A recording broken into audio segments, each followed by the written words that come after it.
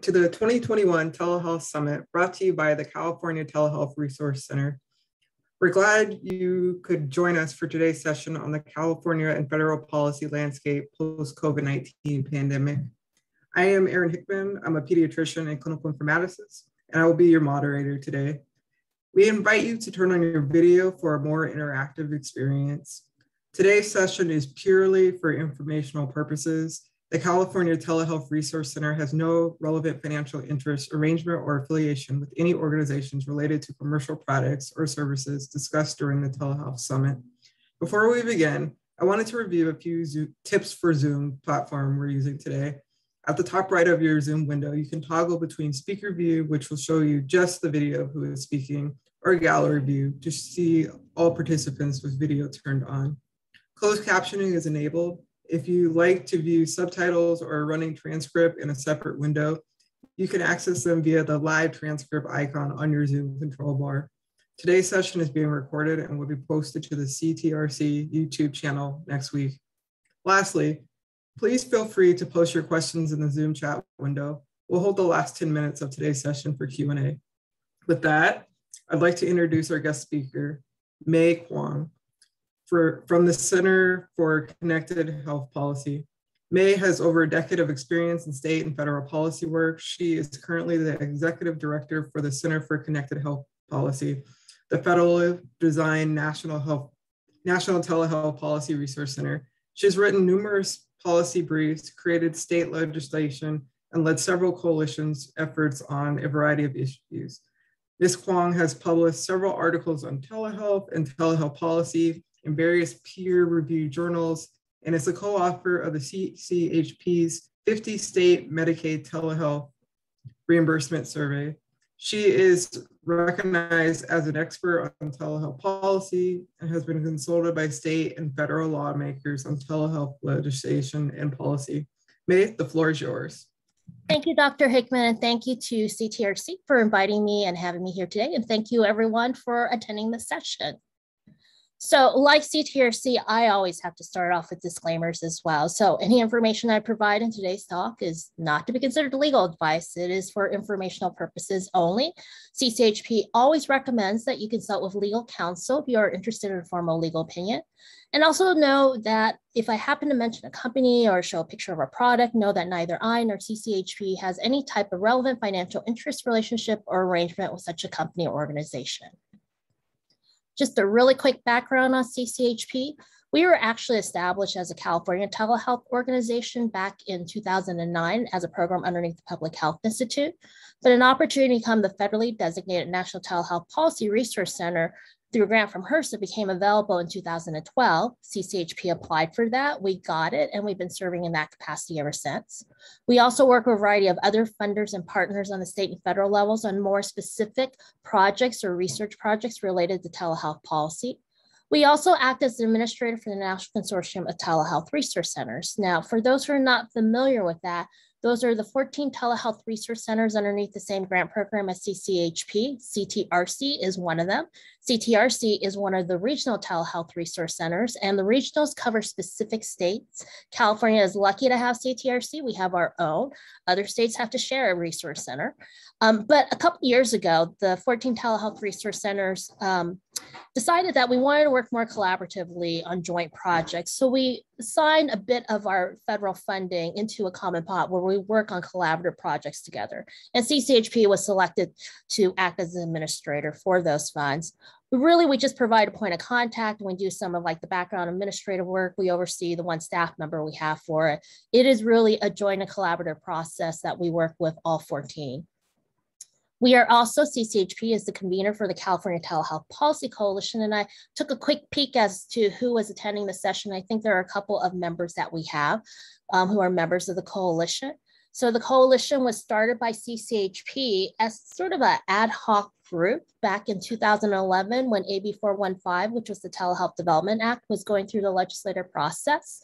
A couple of groups such as CPCA and the Hospital Association and the California Rural Health Association wanted to be updated on the progress of that bill. So from about five different individual organizations that were just meeting to follow the progress of this bill, it's now grown into like 100 statewide groups and national groups because we have a few national um, organizations that are members of the coalition as well. And the the purpose behind the coalition is really to try to advance California telehealth policy. And again, we work in a very collaborative manner and CCHP acts as the convener. So if you're interested in learning more about the coalition or joining it, feel free to reach out to me and I'll be happy to like include you in the emails and the meeting notices. But you're here to hear about the landscape on telehealth policy. And I'm gonna cover both federal and what's going on in the states in general, and then get very more specific on what's going on in California. Now, obviously, we're still in the midst of COVID. We're in the middle of a surge. So this is not quite the post-COVID landscape that you know I think we were hoping we would be in by this point. Um, but we do have an idea of what some of the permanent changes might look like because there are some permanent changes being made. The slide in front of you is really your 20,000 foot level overview of what happened with telehealth policy during the pandemic. And these were for the most part temporary changes. So you have your federal on the in the blue and the state on the red. And as you can see, like as far as issue area that were touched upon on where those telehealth policy changes were made, at least on a temporary basis, a lot of commonalities of what was going on in the federal and the state level. And that's because a lot of the telehealth specific policy that existed before COVID-19 were very have very common elements and a lot of it was really based around reimbursement and the common elements were such things as you know what services could be reimbursed what modality could you use in order to get reimbursed what provider etc there were a couple of other areas, policy areas that were touched on both on the federal and state level um, because it impacted how you use telehealth, such as like prescribing. You see there's a bullet point there about the DEA and prescribing controlled substances, and also like licensure, which you see is more on the state side as opposed on the federal side.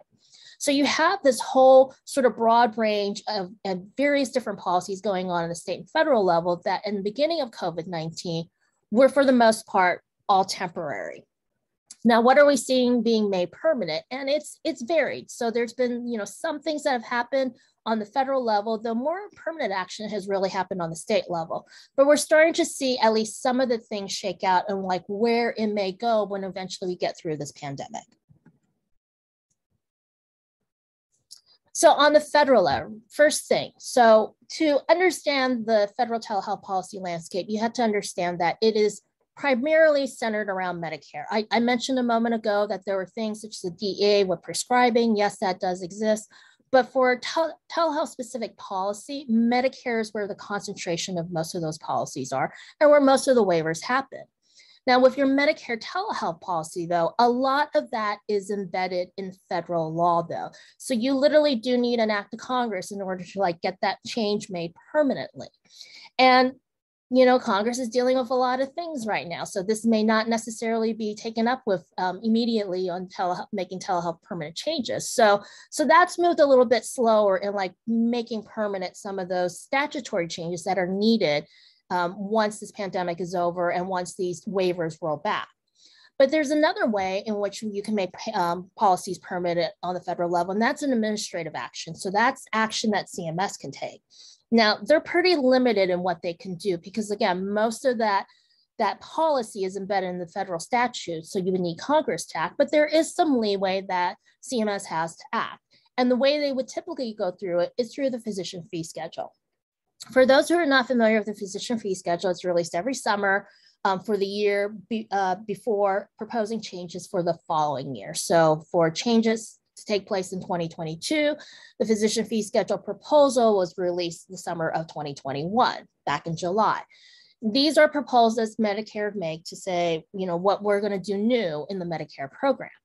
And this is where they've embedded some, some changes for like telehealth policy.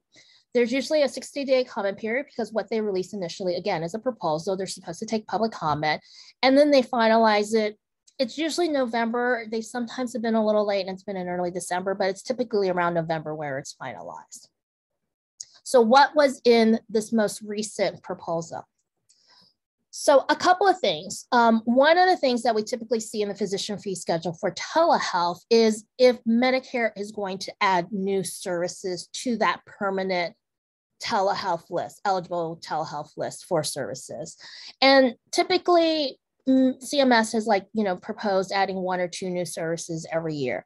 This year, they did not add services. What they did do, though, was extend some temporary services. So last year, what happened is that um, CMS created a temporary holding bucket for services that they weren't going to put on the term, uh, permanent telehealth eligible list, but that they said were we kind of need a little bit more time to decide if there's enough evidence to like justify putting them on the permanent list. So we're going to put them in this little temporary holding bucket called category three.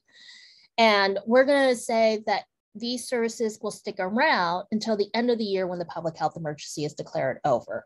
Now, that's what they said last year for going into 2021.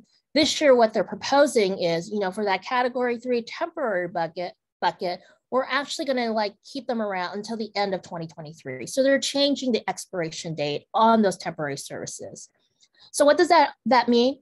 So you basically have three three I don't want to use the word categories. You have um, three different areas that services fall in. You have your permanent telehealth eligible list services that CMS will reimburse for. So it doesn't matter if the public health emergency is declared over, this is on the permanent list. Those services are going to stick around and be eligible to be provided via telehealth and providers will get reimbursed for them. Then you got your category three, which CMS is proposing like it's temporary, but it's going to stick around until the end of 2023. And then you have like your, your um, COVID-19 temporary list that did not fall into one of the uh, two previous categories or two previous buckets, which if the public health emergency is declared over tomorrow, they would automatically go away. They would no longer be eligible. So those are like kind of the three categories or three buckets of services that you have. Services that are still around now because we're in the middle of public health emergency, but can go away. Um, and then services that will stick around at least temporarily until 2023, and then like a permanent list so that that's where that sounds. It's a little bit complicated but but once you get the hang of it you'll you'll fig, you'll see like you know how that works. So but it is it can get a little bit confusing when you first look at it if you're not following it you know regularly. So what were the other changes? Now those were actually kind of small changes when you compare to some of the proposals that they made that we're going to cover now. Um, and a lot of them are around mental health services. The first one is actually not something that CMS proposed to do. They were they were required to do it because in December of 2020, Congress passed the Consolidated Appropriations Act. Now, in that bill, there were some telehealth items in there, but there were no items related to making temporary measures permanent. What there was in there was items related not to like the temporary waivers, but Congress decided to pass. And one of them was the provision of mental health services via telehealth in the Medicare program. The, the section of that bill that related to this said that um, providers could provide mental health services to patients and the geographic restrictions that's in, in Medicare regarding telehealth would not apply and you and the patient could be located in the home. Um, however, there needed to be a six month in person visit prior to the beginning of those telehealth services. So if you didn't have that last part there, it kind of looked great because you would not have the geographic restriction. Patients could be at home and they can receive telehealth uh, services for mental health or mental health services via telehealth. However, with that extra caveat of like having that six months in-person visit, that kind of really narrowed the scope or the, the reach of like what that provision did. So that's actually embedded in federal law. So CMS has to like implement it now through regulations. So what they proposed was basically to implement that, but they added in something that was not in federal law. This was something that they're suggesting to do, which was that they were going to require um, the six months visit to take place before each telehealth visit. So what that means is, for example, you're a patient, you do your in-person visit with that telehealth provider, and then you start getting your visits via telehealth. And you you've done your in-person visit at least six months before, like that telehealth visit. So so you're good. But then if you have a telehealth visit with that telehealth provider eight months later, you're going to need another in-person visit with that telehealth provider. So you have you're on the six month cycle of always getting that in-person visit in order to qualify those telehealth visit. That wasn't technically that was not in the statute. it wasn't clear. So it, it basically just said like you would have to have a six month visit. So they did not have in the statute that it needed to be repeated. This is something that CMS has come up with and it's a proposal. So this is a proposal stage with these proposed regulations. They are taking public comments. So if, if people have um, some ideas about this or some comments that they want to make, this is your opportunity. So that is like one thing that was also in the physician schedule. Now we're getting into the stuff that is a little bit new and a little bit different in how CMS has approached things before.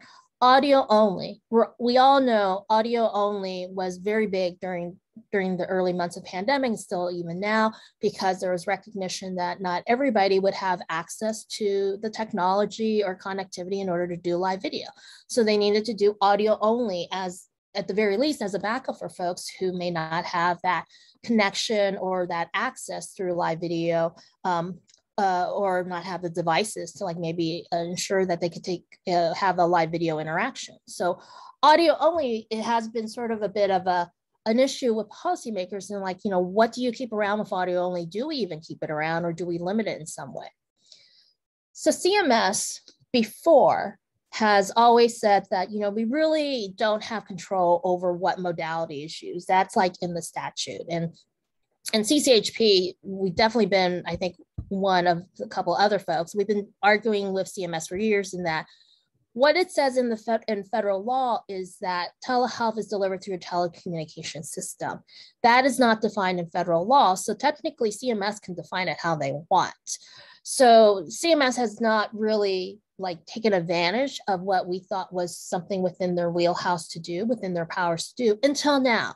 So they have decided that they will take advantage of that and include audio only in there, but only for mental health services and only if certain conditions are met. And those certain conditions are it's for an established patient, the patient is at home, the provider has the capability of doing live video, sort of a backup.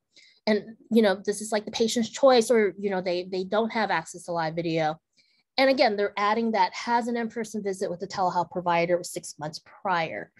So so it was good to see CMS taking advantage of what we had always thought was in their powers to do, which was to have a more expansive definition as to what a telecommunication system was, in which means what type of modality is used to deliver services via telehealth. But they did it in a very narrow way. Again, it was just for mental health services, and there were certain conditions that had to happen in order to allow audio only to be used. And the reasoning for all this was they thought that Audio only lent itself well to be providing mental health services. They also recognized that there's probably going to be increased need for mental health services. And they were very concerned that certain segments of the population wouldn't be able to access it via telehealth or other or in person. So audio only may have been the only way for them to get to those services. So that was significant in that they, they decided that they were going to redefine or have a more expansive definition for telecommunication system. FQHCs and RHCs. For those who are not familiar, again, what's embedded in federal law is the list of eligible providers who are able to provide services via telehealth and get reimbursed underneath the Medicare program. FQHCs and RHCs do not qualify. They are not on that list, and that list is pretty specific. So that has been like a, a problem over the years, and there have been many bills introduced to like try to rectify that, to try to change that. The pandemic hits, that limitation is temporarily waived, and not just for FQHCs and RHCs. I mean, allied health professionals like PTs and OTs are also not on the eligible list. That was waived during the pandemic. So we still have this problem. Now, this is something technically adding providers onto like that eligible list, CMS actually cannot do. But what CMS did was they decided to redefine what a visit, a mental health visit meant for an FQHC and RHC. So they said they were proposing that a new definition for mental health visit for an FQHC or an RHC would also include encounters furnished through real-time telecommunications technology. What that means is you can use live video or audio only. What it also means was because this is a re redefinition of a term of a mental health visit, this does not count as telehealth for those FQHCs. So, so they kind of got around the whole it's in statute on how, you know who can be a provider to deliver telehealth by saying that Well, it's not telehealth. It's it's how we're defining the the term visit, mental health visit for these institutions. So that also means then that those telehealth limitations that you see in statutes, such as needs to take place in the rural area, and it's very specific what type of rural area, they don't apply either because this is, again, a definition for mental health visit as opposed to saying FQHCs and RHCs can be a telehealth provider.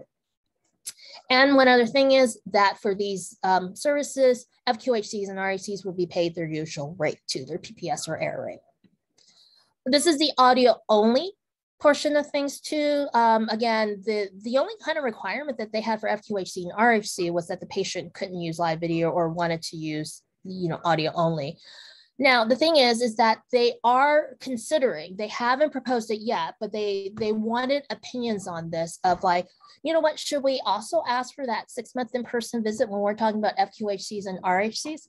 And the way it was written, it, it, it meant for both live video and audio only. That's the way it looked like to me. So um, again, if you have a particular opinion on that, I would suggest that you send in comments to um, CMS regarding this. And the comment period is coming on upon us pretty quickly. I believe it's September 13th is when they close, and they said they have to receive comments by 5 p.m.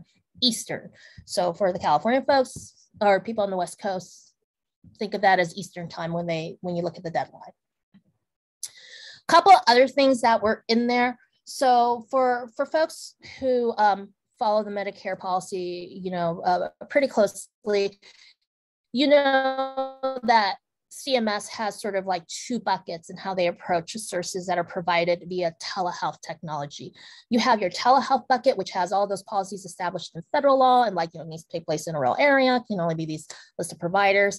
And then they have another bucket called communications technology-based services.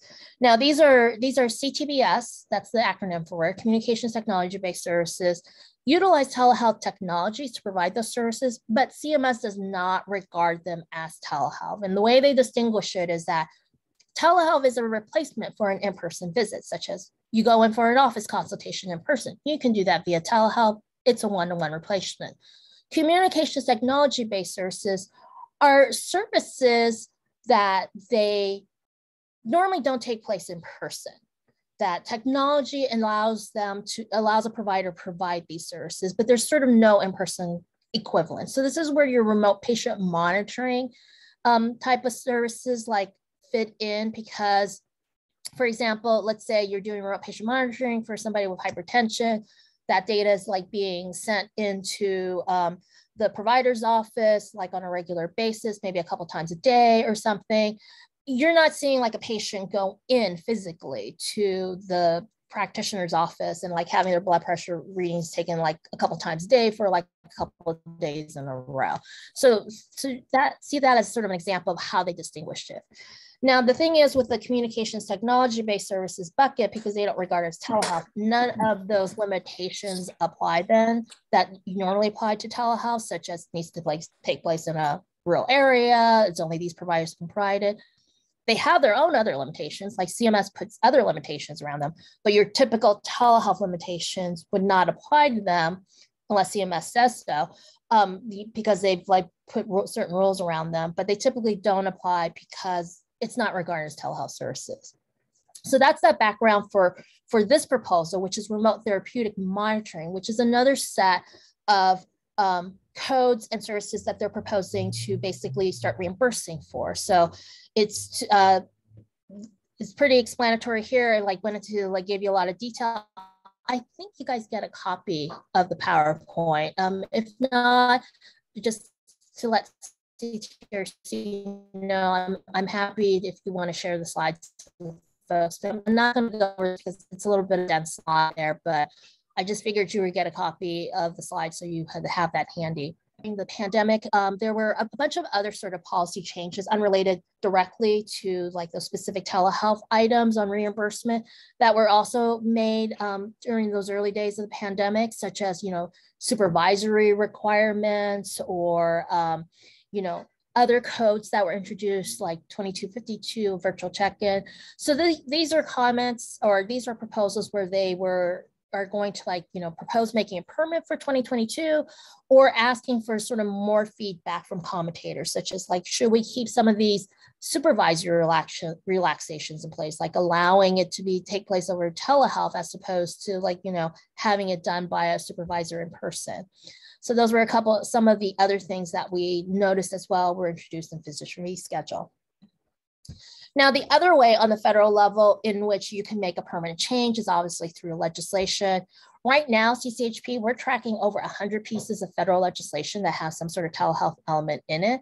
Um, a lot of these bills do address some of the temporary changes that were made in COVID, or maybe they have like sort of a COVID element specific there in there.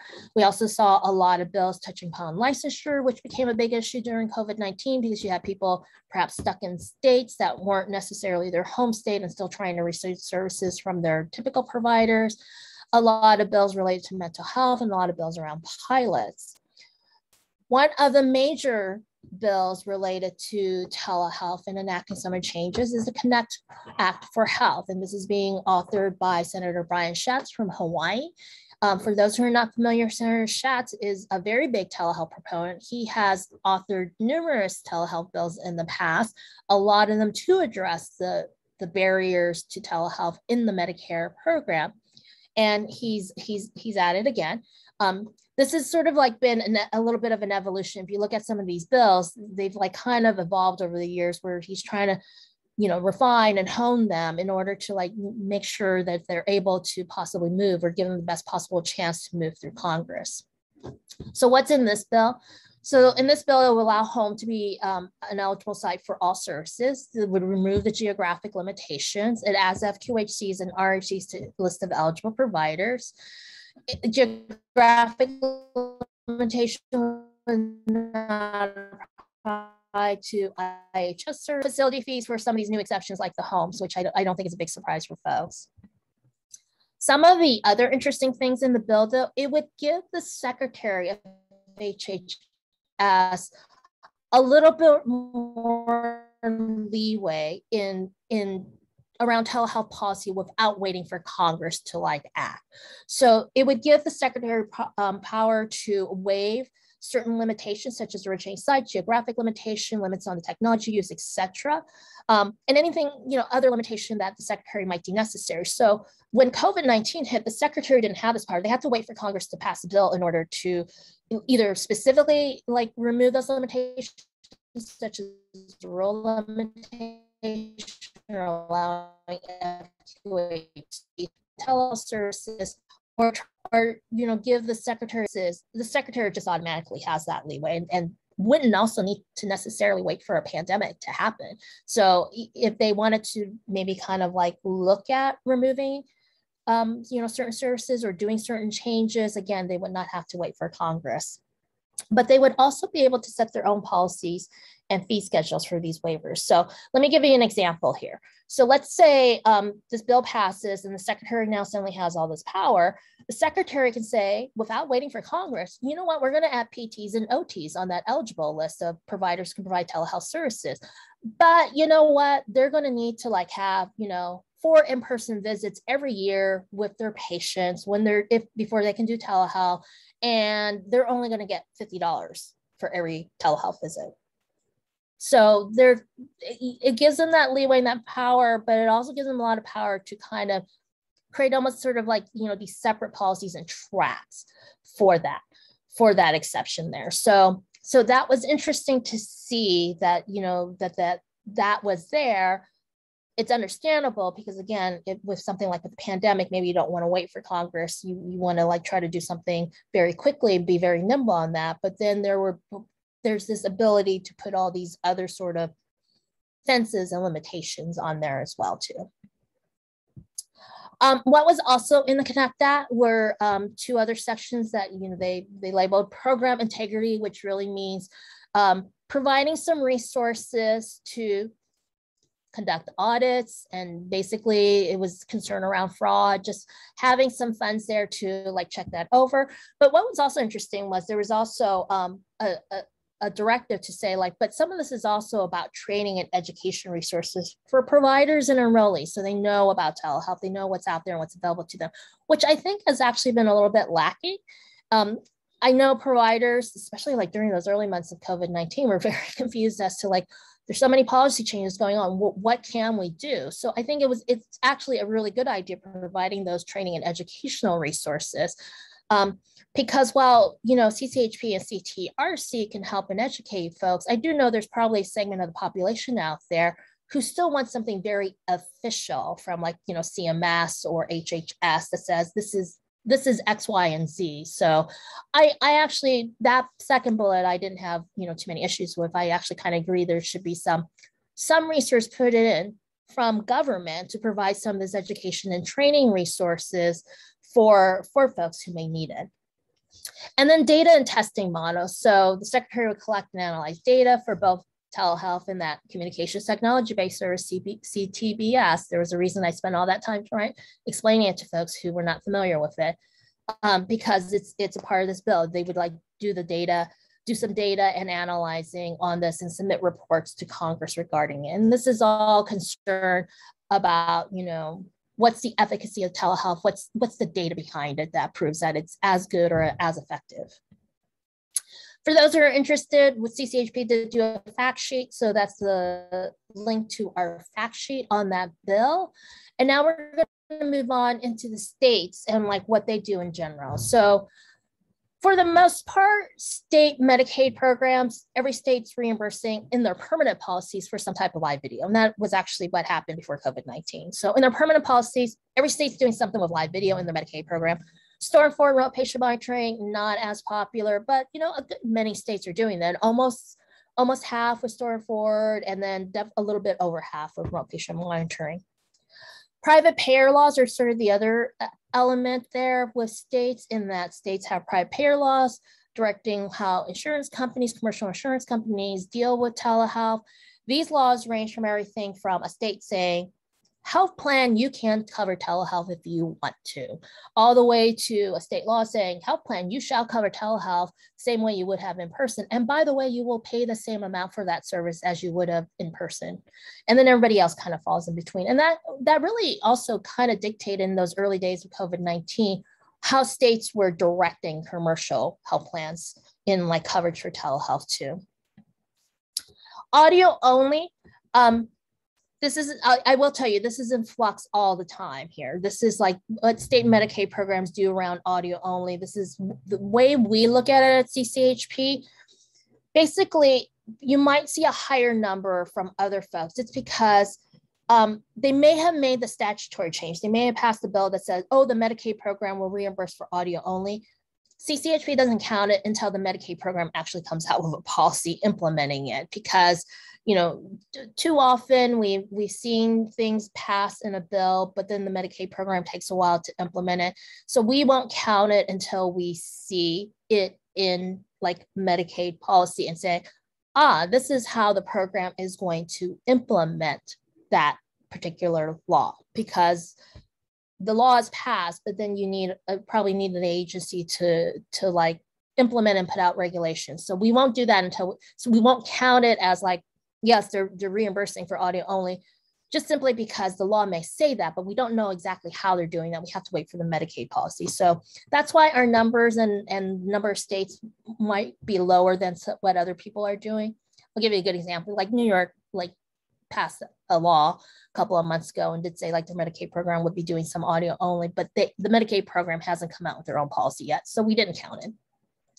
And then for um, the ones that are in like that brown color there, those are uh, communications technology-based services states. So CTBS does have an audio element, audio only element in there as well with like their virtual check-in codes. You can do audio only. That was actually something that existed before COVID-19. Um, and these states do do that.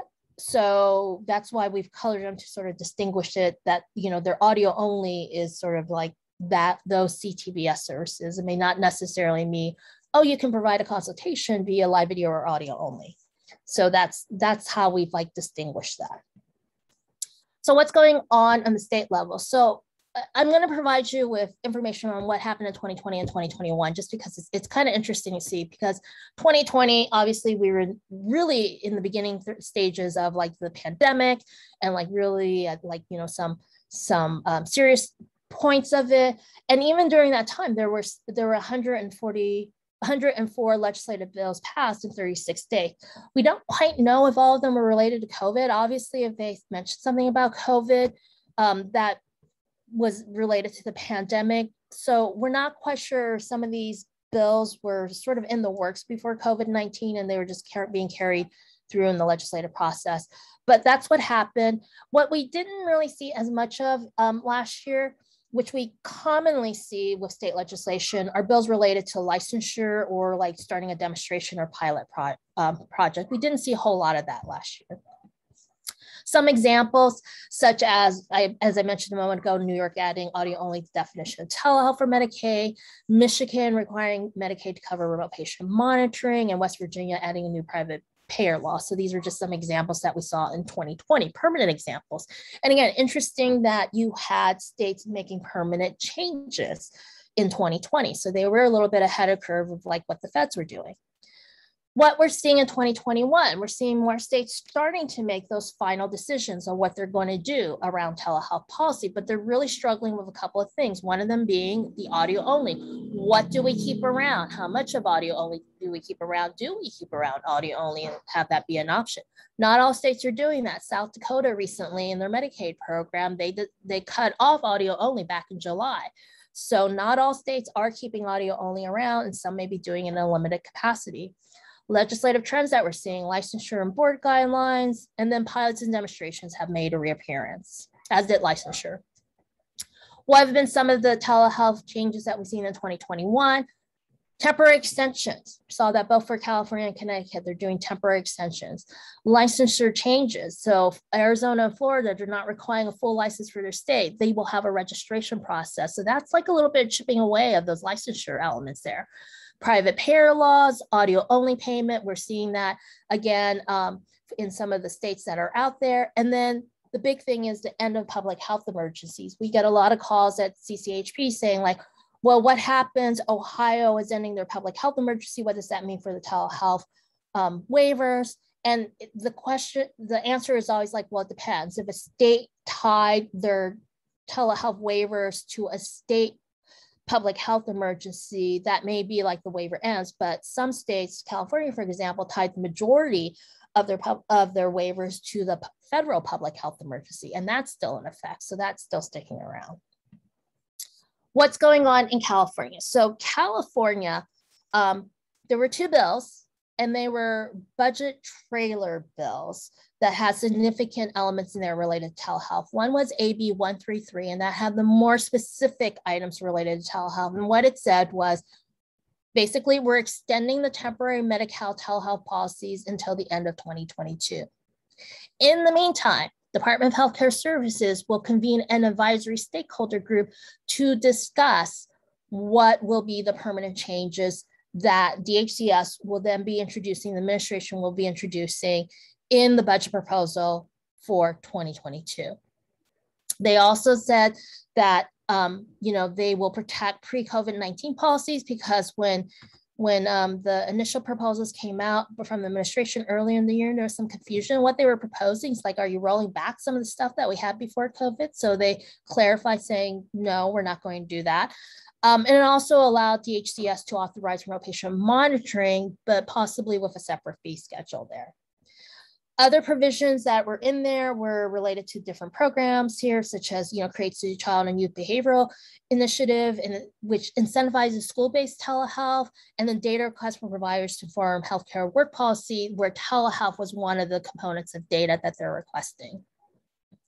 The other bill that was also a trailer bill was SB 156, and there was a significant amount of broadband funding in there, $6 billion. So it was really to look at that middle mile of broadband and also that um, last mile of support. So these are a couple elements in there for the for the broadband bill. Uh, the coalition that I mentioned earlier, we're working on a fact sheet for this. CCHP does have a fact sheet for the AB 133, the previous slide. So we'll also have a fact sheet for this one available soon as well too. But these are the things that are going on in California. Now, you're probably asking me who's going to be a member of the advisory stakeholder committee. DHCS had an application process. It's closed now. So, um, but they had an application process about 10 days ago where they said, submit your application to be on this committee because we are going to have a small group. We're going to have like about, I think they said 25 to 35 people at most.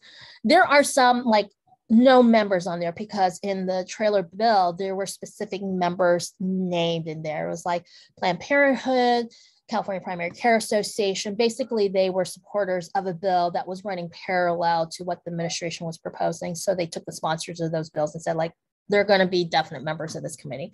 But everybody else was open to an application process. Like I said, that's closed now. We don't quite know who those other members are. Um, initially, DHCS said that they would be contacted today, the 27th. Then I um, or 30th. So we would know um, by the 30th who is actually going to also be appointed to that committee.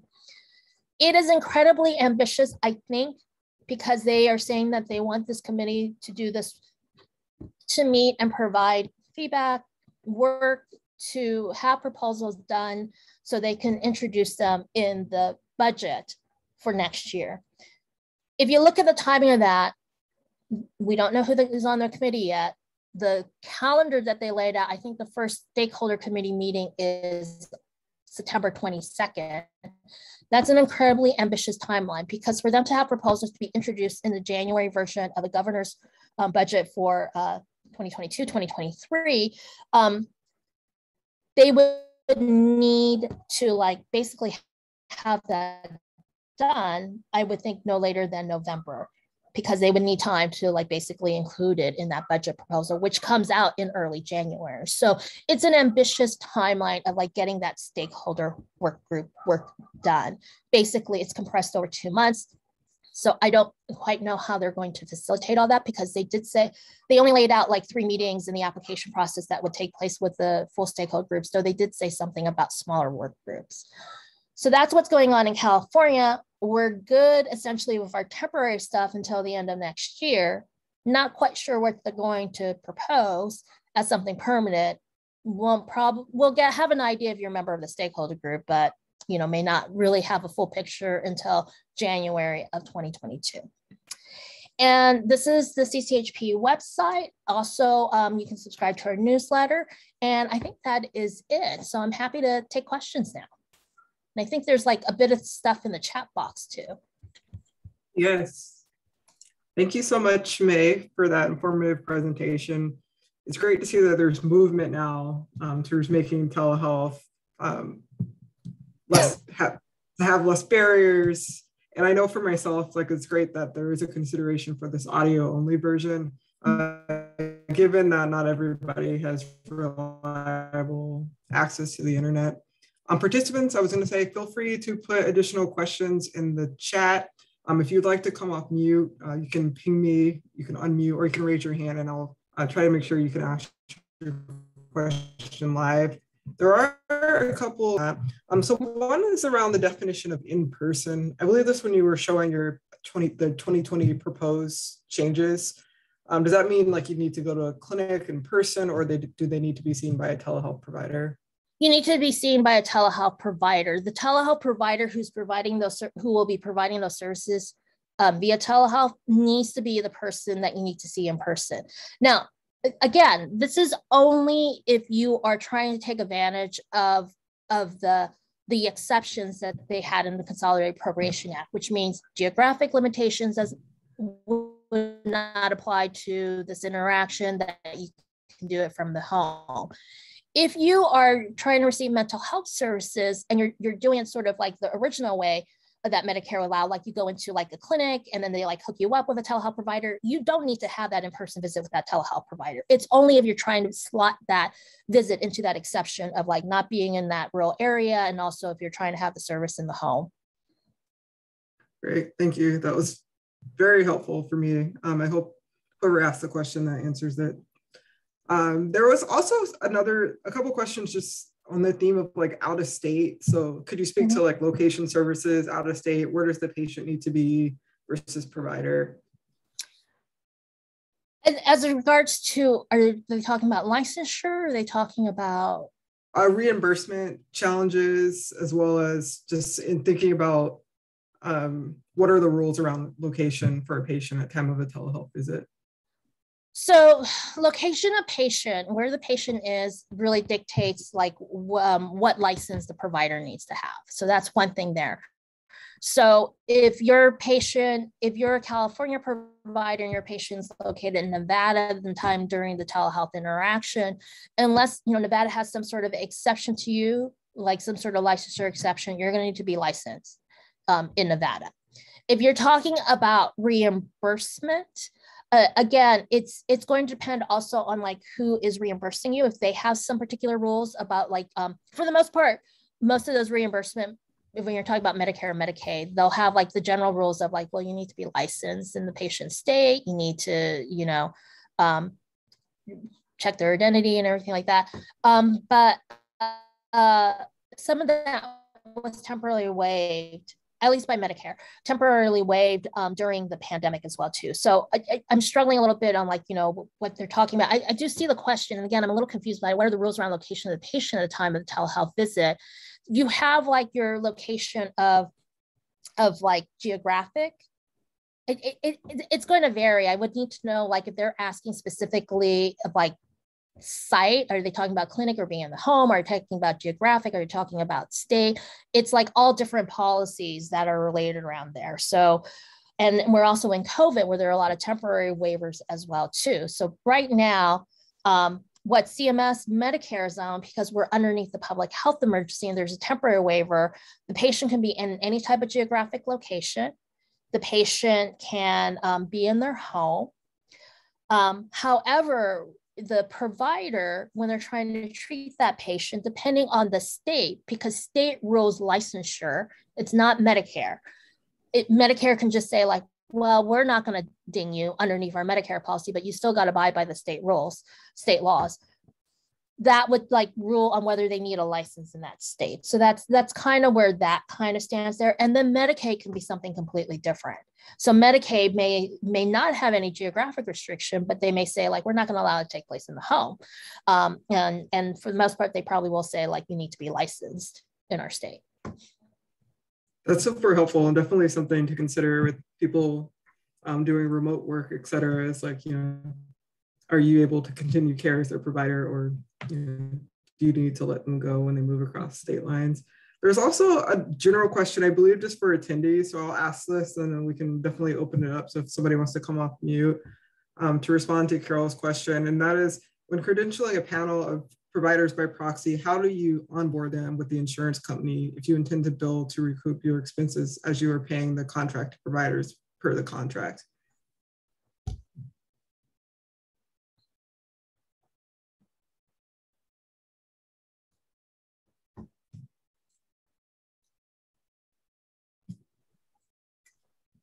Does anybody want to try to take us, try to answer Carol's question? has anybody gone through this before? It's a weird one and coming up more and more now that people are uh, paneling um, physician groups to do remote care like overnight. Um, so yeah, so if we hire on, say at UCSF, a group of physicians and we've done the credentialing by proxy, like delegated onboarding and credentialing and by proxy. Um, if I want to build those providers out to a contracted insurance company, I probably have to obtain those provider signatures on a signatory page to be able to bill them to a contracted payer. And I'm just wondering if there's anything easier out there or if I'm just if I'm just going to, you know, inundate people with signature pages.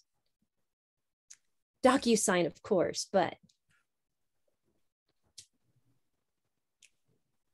It's If a contract. It's, it's a okay. contract, Carol. I'm not sure there's going to be a way around it. I know, I know. Their lawyers are probably going to insist on it. okay. Always looking for that easy out. There's got to be something. Thank you. Not when they got lawyers on retainer there. So Yeah. So I don't see any more questions in the chat at this point. Um, I'll make another call to see if anybody has any questions. And I guess I'll ask one for the group, like has, oh, here's one from Philip, great.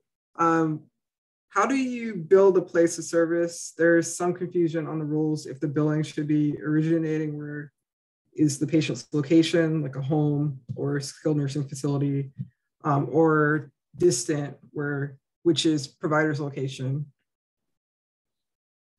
I don't think for when you you bill, you have to like put their their address. I mean, you when the billing is done, you're putting like the distance site provider's business address. I mean, you're not putting like the orig. Well, in the cl- clinic, I don't think you put the originating site address in there. I mean, the originating site like confirms that they've done this. I think there's a place where you can like put. Maybe Carol's more would probably know this better. Carol Maybe I can help with that too. or Rebecca's on here too. Yeah. Um, so Um, it, it ahead. depends on the payer. Um, most payers, the, and, and it also depends on your facility type. So like if you're a hospital and you're billing the patient's home as an extended outpatient during COVID, then sometimes they want that patient's address. Um, but it, it really depends on the payer. But for the most part, again, depending on your facility type, you should just be putting place of service code zero two. So I'm not sure if that's Yeah. where you're going with that. If, if you're looking for what place of service code, if you're anybody else but an RHC and an FQHC, like a private practitioner, you're going to be billing as zero two. Um, otherwise, it's going to be like an 11, um, possibly a 50. Carol, you can jump in anytime now. okay, Rebecca. So um you could um what you do is you list the provider's home address if that's their primary place of quote unquote business um with CMS, but on the billing you list the facility's address. That seemed to be the interpretation we got um a couple of months ago uh, on the CTEL board, um, we were told that uh, Center for Telehealth and ELAW, if if you if yeah, so like say you're you're a psychiatrist and you're practicing from home, you don't want people to know where you live. So, um, but you are providing services on behalf of a facility. They list your home address um, with CMS as a place of business, but what goes out on the bill is um, the facility's address. But the facility does have to bill that 1500 to the MAC if it's CMS, to the MAC where the psychiatrist is sitting. So if they're in Oklahoma and they're providing services to somebody in California, um, that bill has to go to the MAC for um, did I just say Oklahoma? You said Oklahoma, yeah. And and that also getting back to the provider location question Yes. earlier, that will affect also your rate too, because it's like the Oklahoma rate as opposed to the California rate. Yeah, the conversion right. rate is a lot lower. Yeah. Well, not a lot lower. Everyone's only getting 32 bucks an hour now, but or RVU, but um it the conversion factor is lower. Yeah, it, it does it does impact you on because they go by like well you're located because and we're going to take in like what your cost of living is their provider. So that's all we're going to give you. So I hope that helps, Philip. See, this is why I said it was great in the Connect that that they put educational materials in there because of all these like weedy fine tool things where we try our best to like try to sort it out. But if CMS isn't giving us a straight answer, I mean, we have to like just do our best with it. Right. And I think the patient's address part is still really like confusing and an issue for providers. So, um, and I don't know that, Mei, have you seen, has CMS come out with clarification on whether or not providers are supposed to put the patient's address in the bills? I, I have still think not. there. I have not. I mean, there's there's a lot of things CMS needs to come out with to clarify to clarify stuff. But no, I, I haven't seen that, Rebecca. Okay, yeah. So uh, just to help clarify that last bit um, for Philip, in terms of the patient's address, I would just check with your payer. And if you're talking about CMS, I would call the MAC and check with the MAC. And I'll be honest with you, sometimes I don't know if the MAC knows for certain, but they might have at least their policies on it as well too. Well, thanks so much for answering Philip's question. That was very informative. I had no idea that like you could even, I guess, put the provider address name down uh, in light of the building. So it's helpful for me as well. Looks like RJ has a question. Um, is there a pending legislation that promotes or funds language access programs for LEP populations for telehealth adoption at either state or national levels?